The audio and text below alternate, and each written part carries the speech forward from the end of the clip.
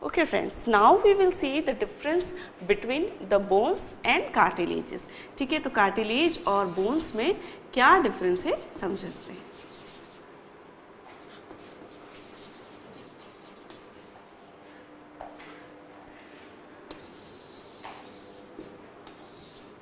ठीक है सबसे पहला कार्टिलेज और बोन्स में ठीक है तो कार्टिलेज और बोन्स में डिफरेंस क्या होता है सबसे पहले नेचर ऑफ़ सेल कार्टिलेजेस में क्या पाई जाती है? कॉन्ड्रोब्लास्ट इन ग्रुप्स होती है टू और फोर के ग्रुप में.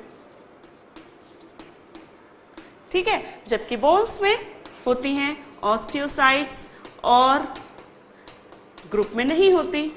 नॉट इन ग्रुप ठीक है? It has canal system cartilage में नो कैनाल सिस्टम जबकि बोन्स में रहता है हैवर्शियन कैनाल सिस्टम ठीक है? Matrix matrix arranged. Matrix not arranged in rings. ठीक है? जबकि कॉन्सेंट्रिक रिंग्स में अरेंज रहता है बोन्स में. Matrix is arranged in concentric rings called lamellae ठीक है? Then lacuna doesn't have cytoplasmic processes in cartilages. ठीक है? कोई साइटोप्लाज्मिक प्रोसेस नहीं होती, जबकि बोन्स में lacunas have cytoplasmic processes called as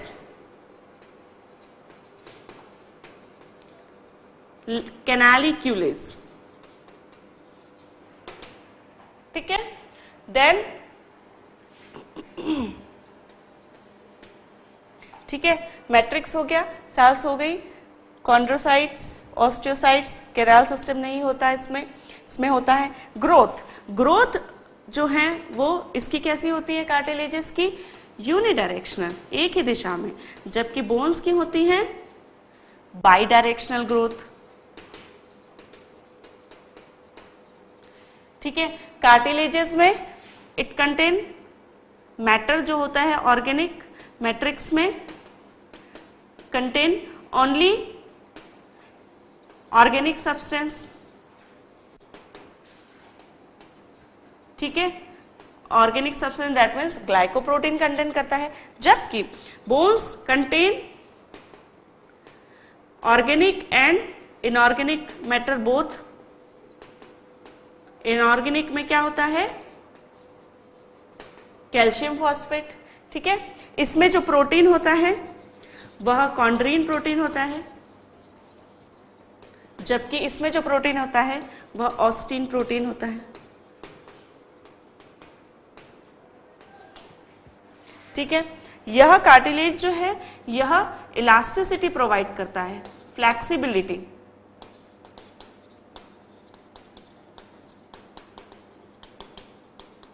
ठीक है? जबकि बोन्स जो है, वो हार्डनेस प्रोवाइड करते हैं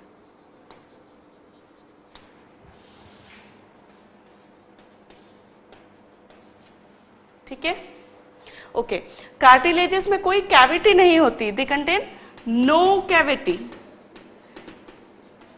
ठीक है? जबकि बोन्स में they have bone marrow cavity जिसमें कि बोन मैरो रहता है। ठीक है? Fine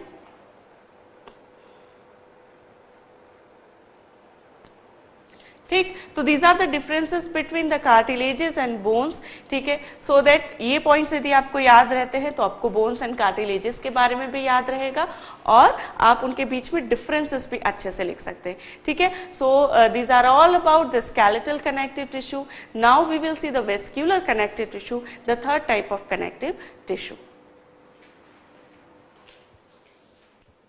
friends now we will go towards the another uh, connective tissue and that is vascular connective tissue Vascular connective tissue जो है वह होता है ब्लड एंड लिम्फ दो प्रकार का होता है ब्लड एंड लिम्फ ब्लड को रेड वेस्कुलर कनेक्टिव टिश्यू भी कहते हैं और लिम्फ को व्हाइट वेस्कुलर कनेक्टिव टिश्यू भी कहते हैं।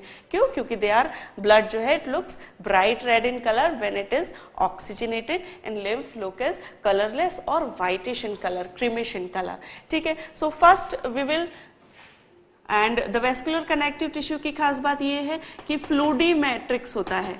जो मैट्रिक्स है, वह फ्लूडी होता है and they don't contain any fibre no fibres ठीक है मैट्रिक्स में कोई फाइबर्स नहीं होते और फ्लोड लाइक मैट्रिक्स होता है। ठीक है तो इसमें सबसे पहले हम देखने वाले हैं ब्लड ठीक है ब्लड की क्या विशेषताएँ हैं?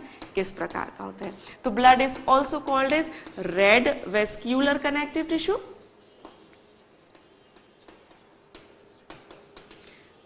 ठीक है?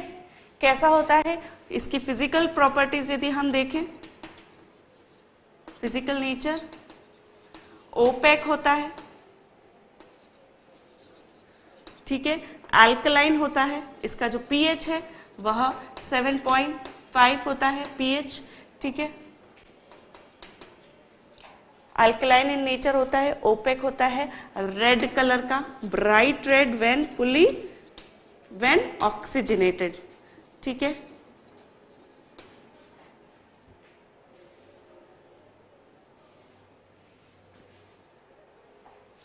जो ब्लड है बॉडी का seven to eight percent of body weight body weight का सेवन टू एट परसेंट जो है, वह ब्लड से फॉर्म होता है.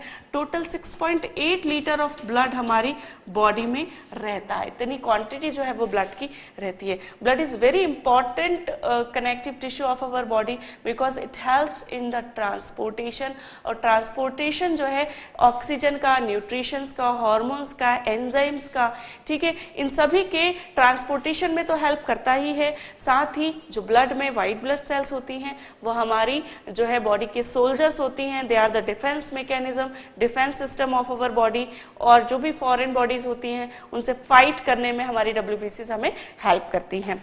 ठीक है? तो यह हमने देखा फ़िज़िकल नेचर क्या क्या होता है इसका। ठीक है? कंपोजिशन किस किस से मिलके बनता है ब्लड तो ब्लड बनता है प्लाज्मा और कार्पसल से मिलके। ठीक है? ब्लड में जो प्लाज्मा है वो 70 परसेंट जो है 70 to 80 percent not 80 50 to 60 percent ठीक है? प्लाज्मा जो होता है लिक्विड होता है, जो कि फ्लूइड होता है और जो कि बेस फॉर्म करता है ब्लड का तो जो लिक्विड होता है ब्लड में, वह कहलाता है प्लाज्मा ठीक है? जो कि कलरलेस होता है प्लाज्मा और यह प्लाज्मा जो है around 50 to 60 percent of blood is formed by plasma इस प्लाज्मा का अराउंड 90 टू 90 90 टू 92 परसेंट जो है, वह फॉर्म होता है वाटर से। पानी से मिलके बना होता है 90 टू 92 परसेंट ठीक है? बाकी जो पार्ट है, वह फॉर्म होता है प्रोटीन्स से। और इस प्लाज्मा में जो है, कौन से प्रोटीन पाए जाते हैं? ग्लोब्यूलिन एल्बुमिन फाइब्रिनोजेन, प्रोथ्रम्बिन, यह सभी क्या है? प्रोटीन हैं जो कि प्लाज्मा में पाए जाते हैं। इसके अलावा सॉल्ट्स होते हैं, जिसमें कि इंपॉर्टेंट है सोडियम क्लोराइड या इंपॉर्टेंट सॉल्ट होता है। इसके अलावा कैल्शियम्स मैग्नीशियम भी जो है प्लाज्मा में रहता है, ठीक है? तो जो मेजर कंटेंट होता है प्लाज्मा का वाटर होता है, उसके अलावा प्रोटीन से और मिनरल्स से जो है प्लाज्मा में रहता है। इसके अलावा प्लाज्मा में हार्मोन एंजाइम्स हार्मोन्स रहते हैं, ठीक है? तो प्लाज्मा जो है जो फ्लूडी सब्सटेंस होता है, फ्लूडी मैटर होता है ब्लड का, वह प्लाज्मा कहलाता है, जो कि 50 टू 60 परसेंट ब्लड का फॉर्म करता है। प्लाज्मा 92 परसेंट तक वाटर से बना होता है। उसके अलावा इसमें प्रोटीन्स मिनरल्स और एंजाइम्स रहते हैं। ठीक है? तो minerals and salt and enzymes and hormone ठीक है? अब प्लाज्मा जो है, उसका फ़ंक्शन क्या है? तो प्लाज्मा का जो फ़ंक्शन है ट्रांसपोर्टेशन का है। किस चीज़ का ट्रांसपोर्टेशन करता है? ठीक है? जैसे एंजाइम्स और हॉर्मोन्स ठीक है? उनका ट्रांसपोर्टेशन हमारे प्लाज्मा की वजह से हो पाता है, ठीक है? वहीं प्लाज्मा में जो प्रोटीन्स होते हैं, वे हेल्प करते हैं हमारी इम्यूनिटी में। ठीक है? साथ ही जो फाइब्रोनोजन और प्रोथ्रोम्बिन प्रोटीन होता है, वह ब्लड क्लॉटिंग में हेल्प करता है। ठीक है? यदि कहीं इंजुरी हो जाए तो ब्लड का तुरंत जो है क्लॉट फॉर्म हो जाता है, जिससे कि और ब्लड लॉस नहीं होता। यह जो क्लॉटिंग मैकेनिज्म होती है, उसमें फाइब्रोनोजन और प्रोथ्रॉम्बिन प्रोटीन का बहुत इंपॉर्टेंट रोल होता है। साथ ही प्लेटलेट्स जो होती हैं, उनका इंपॉर्टेंट रोल होता है। ठीक है? तो प्लाज्मा का फ़ंक्शन क्या हुआ? ट्रांसपोर्टेशन एंजाइम्स का हॉर्मोन्स का। कार्बन डाइऑक्साइड का, ठीक है? इम्यूनाइज इम्यूनिटी का फ़ंक्शन है, जो हमारे ग्लोबुलिन और एल्बुमिन प्रोटीन्स होते हैं, वो इम्यूनिटी में हमें हेल्प करते हैं और ब्लड क्लॉटिंग में हेल्प करता है, ठीक है? तो ब्लड लॉस को प्लाज्मा रोकता है। अब हम देखेंगे कार्पसल्स ब्लड में कौन कौन सी कार्पसल्स रहती हैं, ठीक है? ठीक है? तो ब्लड में जो मेन कार्पोसल्स हैं, वह होती है erythrocytes leukocytes and platelets thrombocytes भी कहते हैं प्लेटलेट्स को। ठीक है इरिथ्रोसाइट इरिथ्रमो मतलब कि रेड तो इरिथ्रोसाइट जो होती हैं, वो डब्ल्यू बी आरबीसी होती है रेड ब्लड सेल्स कहलाती हैं। ठीक है, इनका जो साइज़ है, वो 7.5 माइक्रोन मीटर होता है micrometre and they are the most abundant type of cells in blood सबसे ज़्यादा मात्रा में आरबीसीज ही हमारे ब्लड में रहती हैं। आरबीसीज जो है, वो नॉन न्यूक्लिएटेड होती हैं। कोई न्यूक्लियस नहीं होता। They are biconcave in size disc like shape होता है इनका। And they contain a iron containing protein conjugated protein होता है, जिसे हीमोग्लोबिन कहते हैं। ठीक है, जो कि आयरन और प्रोटीन, ग्लोबिन प्रोटीन से मिलके बनता है तो इसे कहते हैं हीमोग्लोबिन। हीम मतलब आयरन, ठीक है? तो हीम और ग्लोबिन से मिलके बनता है तो हीमोग्लोबिन इसे कहा जाता है। हीमोग्लोबिन जो है, सबसे आरबीसीज में ही रहता है और आरबीसीज में ये एक रेस्पिरेटरी पिगमेंट है, ठीक है? रेस्पिरेशन में हेल्प करता है। कैसे रेस्पिरेशन में हेल्प करता है? तो हीमोग्लोबिन जो है, वो अराउंड 96 परसेंट ट्रांसपोर्ट करता है ऑक्सीजन को और around twenty three percent carbon dioxide का ट्रांसपोर्टेशन करता है। कैसे करता है? तो यह जो हीमोग्लोबिन होता है, यह ऑक्सीजन से जुड़ जाता है ऑक्सी हीमोग्लोबिन बना देता है, ठीक है? फिर जब जिन टिश्यूज को ऑक्सीजन की आवश्यकता होती है, वहाँ पर यह ऑक्सीजन उनके पास चली जाती है हीमोग्लोबिन से डिटैच होके, ठीक है? और वहाँ से कार्बन डाइऑक्साइड जो है हीमोग्लोबिन से अटैच हो जाती है और वह कार्बोक्सी हीमोग्लोबिन बना लेता है। और फिर यह कार्बन डाइऑक्साइड वह लंग्स में जाके रिलीज़ कर देता है और लंग्स के द्वारा एक्सेस कार्बन डाइऑक्साइड को रिलीज़ कर दिया जाता है। ठीक है? तो इस प्रकार इरेथ्रोसाइड जो है, इनका मेन फ़ंक्शन है ट्रांसपोर्टेशन ऑफ़ गैसेस ठीक है? Most abundant type of blood cells जो है अराउंड 2.5 मिलियन सेल्स जो है, यह होती हैं। ठीक है? तो सबसे ज़्यादा इरिथ्रोसाइट ब्लड में होती हैं। इरिथ्रोसाइट का यदि स्ट्रक्चर देखा जाए तो किस प्रकार से होगा? ठीक है, इस प्रकार से बाइकॉनकेव होती है डिस्क लाइक स्ट्रक्चर और यदि इसे देखा जाए तो फ्लैट डिस्क लाइक ठीक है? तो यह साइड व्यू यदि देखें तो इस प्रकार से फ्लैट स्ट्रक्चर होता है इसका और इसमें न्यूक्लियस नहीं होता इसमें बहुत सारे जो ऑर्गेन्स होते हैं सेल ऑर्गेनल्स वो नहीं होते। क्यों नहीं होते? सो so दैट ज़्यादा से ज़्यादा हीमोग्लोबिन इसके अंदर आ सके और हीमोग्लोबिन की आ, मदद से सहायता से जो गैसेस का एक्सचेंज है वह हो सके। ठीक है? तो दीज आर इरिथ्रोसाइट्स ठीक है? इरिथ्रोसाइट्स के बाद आता है नंबर ल्यूकोसाइट्स का। ल्यूकोसाइट्स जो है, इनका साइज़ होता है 8 to 12 micron large in size होती हैं यह सेल्स और they are of two type जिनका साइटोप्लाज्म में ग्रेन्यूल्स होते हैं, वह कहलाती हैं ग्रेन्यूलोसाइट्स और जिनके साइटोप्लाज्म में ग्रेन्यूल्स नहीं होते, वह कहलाती हैं ए ग्रेन्यूलोसाइट्स ग्रेन्यूलोसाइट्स फर्दर तीन टाइप की होती हैं न्यूट्रोफिल्स बेजोफिल्स एंड योस्नोफिल्स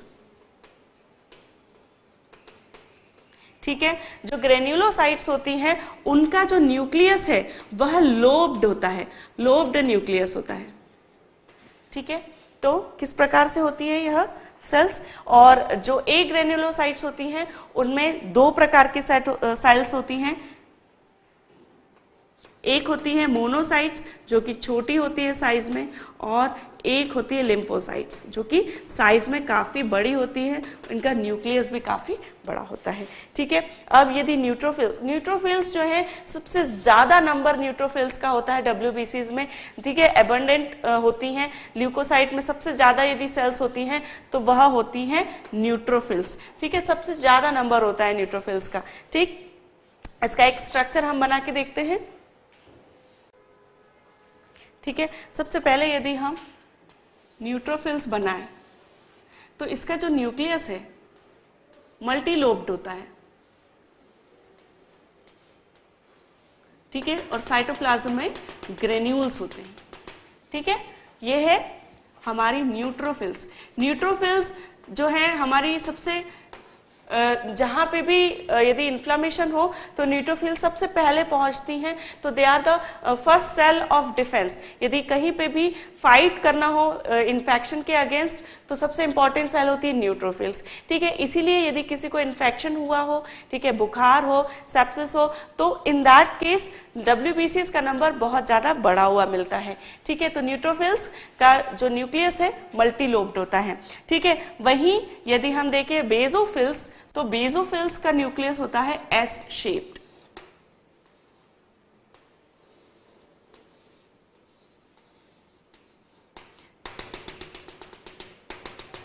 ठीक है? इोसिनोफिल्स का बाइलोब्ड न्यूक्लियस होता है, दो लोब्स होते हैं।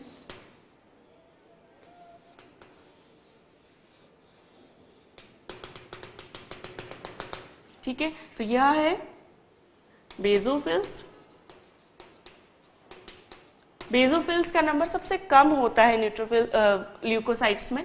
इोसिनोफिल्स इोसिनोफिल्स जो हैं, यदि किसी को एलर्जिक हो तो एलर्जी के केस में इोसिनोफिल्स का नंबर बहुत बढ़ जाता है, ठीक है? तो बेजोफिल्स इोसिनोफिल्स और neutrophils they are the granulocyte क्यों कहते हैं ग्रेन्यूलोसाइट क्योंकि इनका जो साइटोप्लाज्म है इट कंटेन्स ग्रेन्यूल्स ठीक है? और इनका जो न्यूक्लियस है, वह लोब्ड होता है। वहीं यदि मोनोसाइट और लिम्फोसाइट की बात करें तो इस प्रकार से यह कुछ सेल होती हैं, ठीक है? मोनोसाइट में लिम्फोसाइट का साइज़ काफ़ी बड़ा होता है, न्यूक्लियस भी काफ़ी बड़ा होता है इनका। और ये लिम्फोसाइट जो हैं, ये हमारी इम्यूनिटी की सेल्स हैं एंटीबॉडीज जो हैं ये फॉर्म करती है लिम्फोसाइट्स ठीक है? मोनोसाइट्स एंड लिम्फोसाइट ठीक है? ए ग्रेनुलोसाइट्स कहलाती हैं और इनका साइज़ जो है काफ़ी बड़ा होता है इस कंपेयर टू अदर सेल्स ठीक है? द थर्ड जो सेल है, वो है प्लेटलेट्स प्लेटलेट्स जो है साइटोप्लाज्मिक फ्रेगमेंट्स होते हैं. एक्चुअली में एक सेल नहीं होती.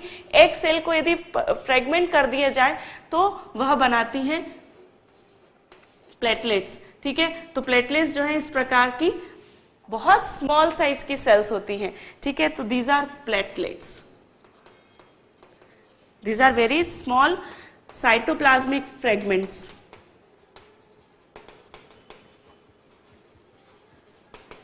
ठीक है? और प्लेटलेट्स का फ़ंक्शन है ब्लड क्लॉटिंग में हेल्प करती है हमें। जिस प्रकार प्रोटीन होते तो प्रोटीन्स जो फाइब्रिनोजेन और प्रोथ्रोम्बिन प्रोटीन हमने देखा था, उनके साथ प्लेटलेट्स जो है प्लेटलेट्स के ब्रेकडाउन से ही वह प्रोटीन एक्टिवेट होते हैं और वह क्या करते हैं? ब्लड क्लॉटिंग में हेल्प करते हैं। ठीक है? तो ये हमने देखी ब्लड की सेल्स कौन कौन सी सेल्स है? ब्लड में इरिथ्रोसाइट्स स्मॉल साइज़ है 7.5 माइक्रोन लेकिन they are the most abundant cells of blood ठीक है? इन्हीं की वजह से ब्लड का कलर रेड दिखता है, क्योंकि इनमें हीमोग्लोबिन होता है। और हीमोग्लोबिन जब ऑक्सीजन से अटैच हो जाता है तो वह ऑक्सी हीमोग्लोबिन बनाता है, और यही ऑक्सी हीमोग्लोबिन ब्लड को ब्राइट रेड कलर देता है। जबकि यदि यह हीमोग्लोबिन कार्बन डाइऑक्साइड से अटैच हो और कार्बोक्सी हीमोग्लोबिन बनाए तो वह ब्लड जो है पर्पलिशन कलर दिखता है। इसीलिए वेंस में क्योंकि जो है इम्प्योर ब्लड होता है which contain more carbon dioxide इसीलिए वेन्स का ब्लड पर्पलिश होता है। जबकि आर्टरी में जो ब्लड होता है इट कंटेन ऑक्सी हीमोग्लोबिन इसीलिए आर्टरीज का जो कलर है वह ब्राइट रेड होता है। ठीक है? इसका फ़ंक्शन हमने देखा ट्रांसपोर्टेशन ऑफ़ गैसेस जिसमें सबसे इंपॉर्टेंट है ऑक्सीजन का ट्रांसपोर्ट 96 परसेंट ऑक्सीजन जो है, सिर्फ़ और सिर्फ़ इरिथ्रोसाइट की वजह से ही ट्रांसपोर्ट हो पाती है, जबकि कार्बन डाइऑक्साइड का 23 परसेंट जो है इरिथ्रोसाइट के द्वारा होता है, जबकि कुछ परसेंट प्लाज्मा के द्वारा भी कार्बन डाइऑक्साइड का ट्रांसपोर्ट किया जाता है। ठीक है? देन कम्स द ल्यूकोसाइड जो कि दो प्रकार की होती है granulocyte and agranulocyte granulocyte contain the granules in their cytoplasm agranulocyte they don't contain granules ठीक है? इनका न्यूक्लियस लोब्ड और उनका न्यूक्लियस नॉन लोब्ड ठीक है?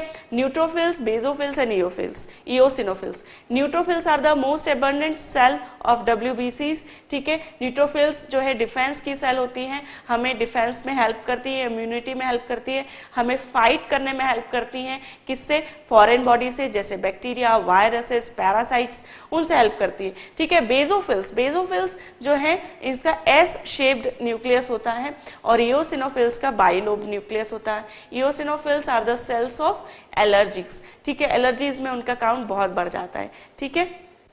Then comes the platelets, which are the cytoplasmic fragment. Fragment होते हैं, they are very small in size and they help in blood clotting. ठीक? तो ये हमने पढ़ा ब्लड के बारे में और ब्लड क्या है? एक वेस्क्यूलर कनेक्टिव टिश्यू है, जो कि प्लाज्मा और सेल्स से फॉर्म होता है। प्लाज्मा का कंपोजिशन देखा देन हमने देखा सेल्स कौन कौन सी होती हैं। ठीक है? Now we will see the white connective tissue white vascular connective tissue and that is lymph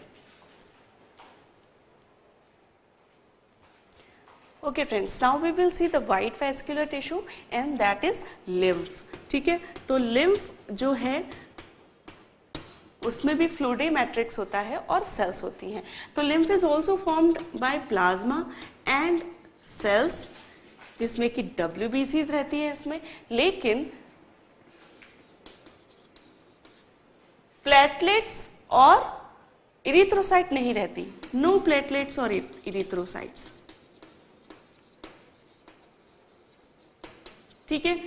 जैसे कि ब्लड जो है, वह आर्टरीज और वेन्स में फ्लो होता है, वैसे ही lymph flows in lymphatic vessel ठीक है वेसल्स जो कि लिम्फेटिक वेसल्स कहलाती हैं इन लिम्फेटिक वेसल्स साथ ही जो लिम्फ है, वह बॉडी फ्लूड भी फॉर्म करता है। ठीक है बॉडी फ्लूइड बॉडी फ्लूइड किसके बीच में? बिटवीन द टिश्यूज जो टिश्यूज के बीच में जो फ्लूइड होता है, वह भी लिम्फ ही होता है, ठीक है? और वहाँ से जो लिम्फ है, वह लिम्फेटिक वेसल्स में फ्लो होता है।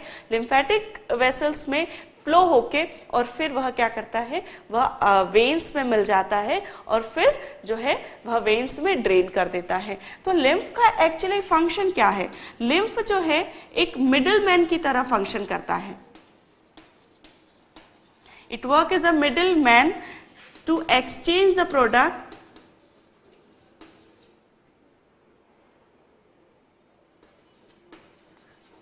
between body tissues and blood ठीक है तो ब्लड और बॉडी टिश्यू के बीच में जो एक्सचेंजेस हैं उसमें यह मीडियम का काम करता है मीडिएटर का काम करता है ठीक है? तो टिश्यूज से इस ब्लड इस लिम्फ में आती हैं प्रोडक्ट्स ठीक है? और इस जो फ्लूइड uh, होता है लिम्फ से इससे ब्लड में ट्रांसपोर्ट होते हैं ठीक है? तो इस प्रकार जो एक्सचेंज है ब्लड और टिश्यूज के बीच में उसमें मीडिएटर का काम होता है लिम्फ का ठीक है? साथ ही लिम्फेटिक वेसल्स के थ्रू जो है वेस्ट को यह क्या करते हैं? टिश्यूज से वेस्ट ले जाते हैं और उस वेस्ट को वेन्स में ड्रेन कर देते हैं और फिर वह फर्दर जो है बॉडी से बाहर निकाल दिया जाता है with the help of kidneys and liver ठीक है? तो इस प्रकार लिम्फ का क्या काम है? एक्सचेंज करता है मिडिल मैन की तरह काम करता है। ठीक है? लिम्फ किससे मिलके बना होता है? प्लाज्मा और सेल्स से, जिसमें सेल्स जो है डब्ल्यू रहती है। इसका जो प्लाज्मा होता है it contain less protein less minerals ठीक है? तो प्रोटीन और मिनरल्स जो हैं एज कंपेयर टू ब्लड बहुत कम होते हैं, ठीक है? तो प्लाज्मा और सेल्स दैट मीन्स जो इसका कंपोजिशन है इट इज़ मोर और less similar to blood but फिर भी there are some differences between blood and live so will see the difference between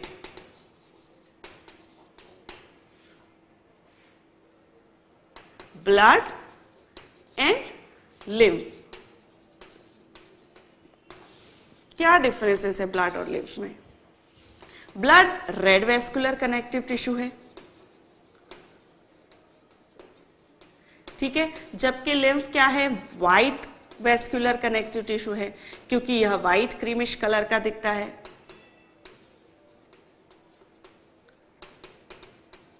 blood जो है, वह फ्लोज इन ब्लड वेसल्स ठीक है ब्लड वेसल्स में फ्लो करता है। ब्लड वेसल्स कौन सी है? आर्टरीज एंड वेन जबकि lymph flows in lymphatic vessel lymphatic vessels कहते हैं लिम्फेटिक्स कहते हैं। ठीक है लिम्फ ब्लड में जो है, कौन सी सेल्स होती हैं? आरबीसीज डब्ल्यूबीसीज एंड प्लेटलेट्स जबकि जो लिम्फ है, उसमें सिर्फ़ डब्ल्यू रहती हैं। ठीक है? जो प्लाज्मा है, उसमें more protein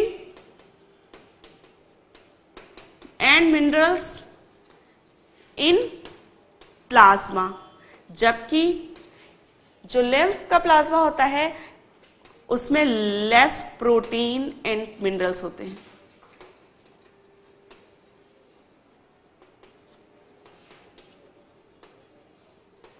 ठीक है? ब्लड ब्लड में हीमोग्लोबिन होता है. इन आरबीसीज जबकि इसमें आरबीसीज ही नहीं होती है. हीमोग्लोबिन भी नहीं होगा. नो हीमोग्लोबिन हीमोग्लोबिन को एच बी से डिनोट कर सकते हैं. ठीक है? तो हीमोग्लोबिन होता है ब्लड में, लेकिन लिम्फ में नहीं होता. इसका जो फ़ंक्शन है ब्लड का ट्रांसपोर्टेशन का है. किसका ट्रांसपोर्टेशन गैसेस का. न्यूट्रिशन का, हार्मोन्स एंड एंजाइम्स का, और जो लिम्फ है, वह कैसे फ़ंक्शन करता है? Work as a middle man between blood and tissues. ठीक है? So these are the basic differences between blood and lymph blood जो है red vascular connective tissue है lymph white Blood में, ब्लड वेसल्स में फ्लो होता है, वह लिम्फेटिक्स में फ्लो होता है। इसमें आरबीसी, डब्ल्यूबीसी प्लेटलेट्स रहती हैं, उसमें सिर्फ़ आरबीसी रहती हैं। इसमें ज़्यादा प्रोटीन और मिनरल कंटेंट रहता है प्लाज्मा में, इसमें लेस रहता है। ये जो है आरबीसी में हीमोग्लोबिन रहता है, इसमें कोई हीमोग्लोबिन नहीं होता। यह ट्रांसपोर्टेशन का काम करता है गैसेज एंजाइम्स, हॉर्मोन्स और न्यूट्रिशन का। यह मिडिल मैन की तरह वर्क करता है, बिटवीन ब्लड एंड टिश्यूज। ठीक